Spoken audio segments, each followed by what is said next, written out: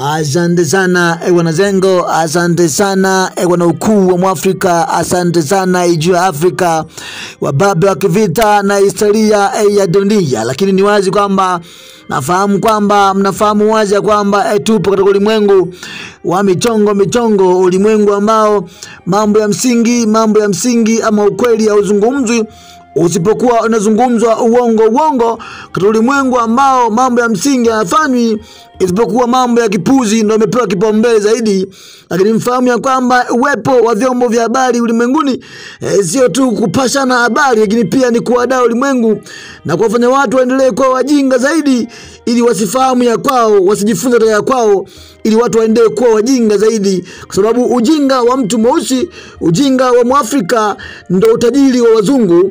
Kuto kujitambua, kuto kujielewa kwa mtu mweusi ndo mafanikio ya mzungu. Lakini kikubwa ni wazi kwamba e, uko nchini ukweni huko nchini Urusi e, mambo bado ni mpekeche mpekeche, huko bado watu wanatafutana kwa udi na uvumba. Lakini kubwa ni kwamba bado kuna vita vikali sana vinaendelea katika mji wa Bahamuti. Mpaka sasa hivi nasema wazi kwamba e, baadhi ya vikosi vya Ukweni huenda vikawa vimezungukwa.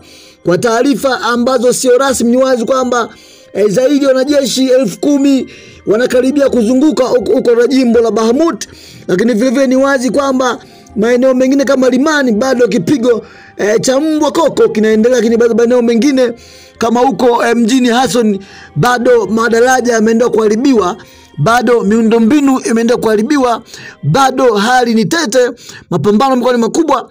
Lakini kikubwa zaidi ni kwamba kwa taarifa za chini ya carpet, taarifa ya chini kwa chini kwamba sehemu ambayo Ukraine anaenda kuongeza nguvu, sehemu ambayo Marekani na Ukraine anaenda kuongeza nguvu, basi ni sehemu ya jimbo la Melitopol. Melitopol ni moja ya jimbo ambayo pia limepakana zaidi na Hasson. Melitopol inasema kwamba ndio target kubwa target kubwa ya, ya, ya, ya, ya Ukraine na Marekani na Umoja wa Ulaya, maana ndio wafadhili wakubwa wa vita eh, vya Urusi na Ukraine.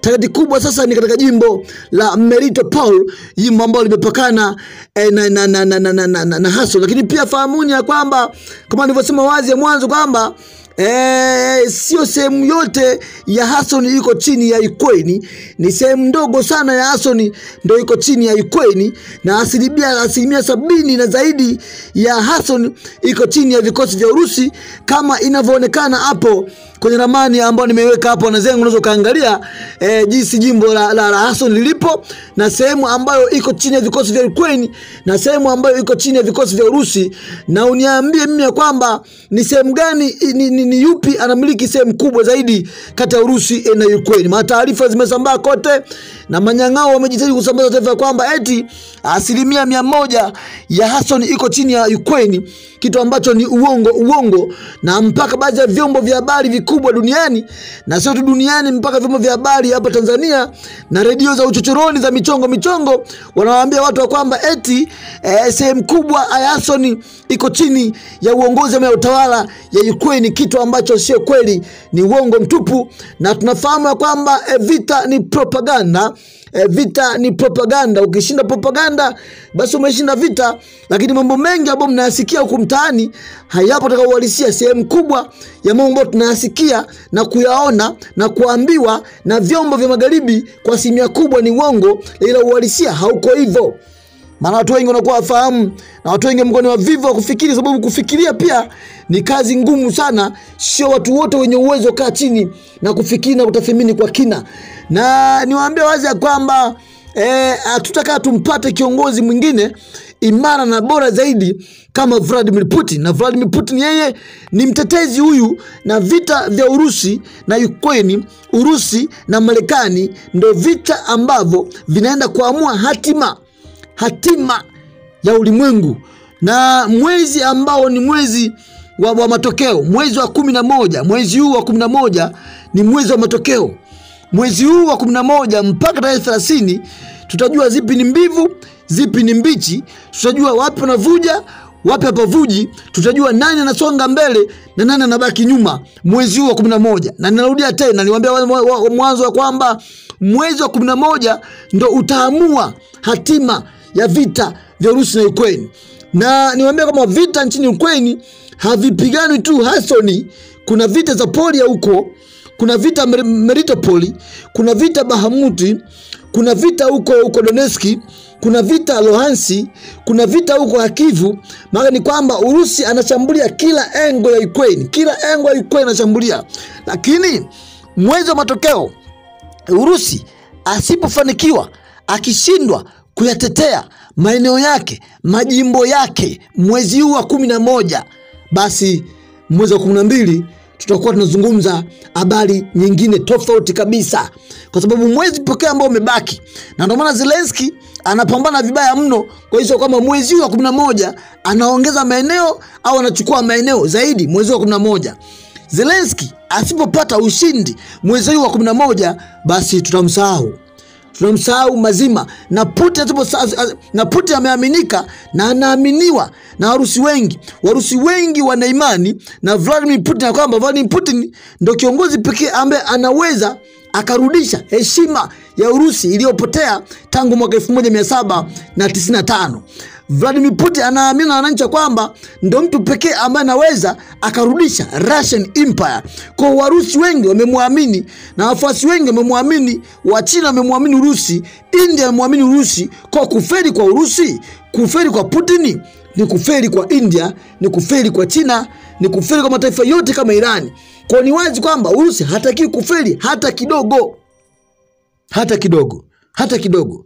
Ndio maana hivi navyoongea na wewe ni kwamba tayari tayari baadhi ya maeneo ulinzi umeendelea kuimarishwa ndani ya Ason, ndani ya Ason ulinzi umeendelea kuimarishwa na vilevile vile baadhi ya baadhi ya mamluki mercenaries kutoka Canada, kutoka Uingereza wameendelea kuliwa vichwa, kila siku wanaliwa vichwa, kila siku wanaliwa vichwa.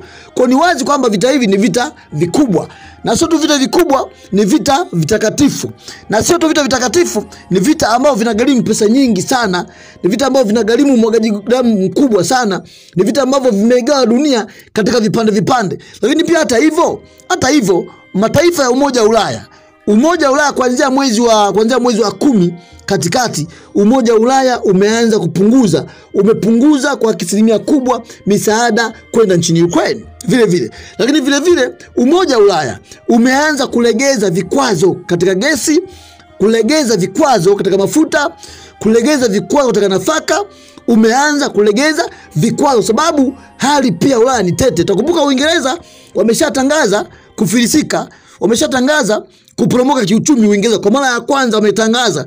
Watu wengi tulidhani ifikapo 2023 ndipo Umoja wa Ulaya ungetangaza kuporomoka kiuchumi, lakini Uingereza imekuwa taifa la kwanza kutangaza kuporomoka kiuchumi. Yote hayo ni Vladimir Putin, mtata huyu jasusi wa zamani wa KGB huko Ulaya Mashariki, ambaye alijiunga na KGB mnamo mwaka 1975 mpaka mwaka 1990. Hali bado ni tete, lakini kikubwa zaidi pia kingine, tumeshuhudia maandamano maandamano ya mashoga yamefanyika huko nchini e, nchini Taiwan. Mashoga wameandamana Taiwani wakimuunga mkono e, Volodymyr Zelensky wakiunga mkono vita ambavyo vinaendelea huko nchini Ukraine, lakini bado bado bado ni kimbwembwe, bado mbwai na iwe mbwai, bado watu wanapigana kufa kupona, bado ni mukide mukide, na Marekani bado amevimba, na ndio maana mataifa mengi. Taarifa zingine kubwa ni kwamba e, e, rais wa Uturuki Erdogan Tayyip Erdogan Tayyip amesema kwamba basi enough is enough, inatosha, inatosha kwa vita ambavyo vinaendelea, kwa maana kwamba amesema atampigia simu, ataongea na Zelensky ndani ya siku mbili hizi tatu, kumwambia kwamba akubali waingie mezani wayazungumze. Lakini pia amesema ataongea pia na Vladimir Putin ndani ya siku ndani ya siku mbili hizi tatu, ya kwamba akubali wakae meza moja wayazungumze, ili kuepusha maafa zaidi, sababu wazungu wanamalizana wao kwa wao. Hiyo ni, ni kauli ya Erdogan Tayyip, na kubwa kuliko nyingine ni wazi kwamba e, bado bado Urusi ameendelea kuimarisha ulinzi. Nimeona baadhi ya clip nitaiweka hapa baadaye. Bado Urusi ameendelea kuimarisha ulinzi wake katika maeneo ya Kherson. Bado ulinzi umeimarishwa vibaya mno, na punde si punde basi yajayo e, sio kwamba yanafurahisha, yajayo yanakuja kutushangaza, hayafurahishi hata kidogo.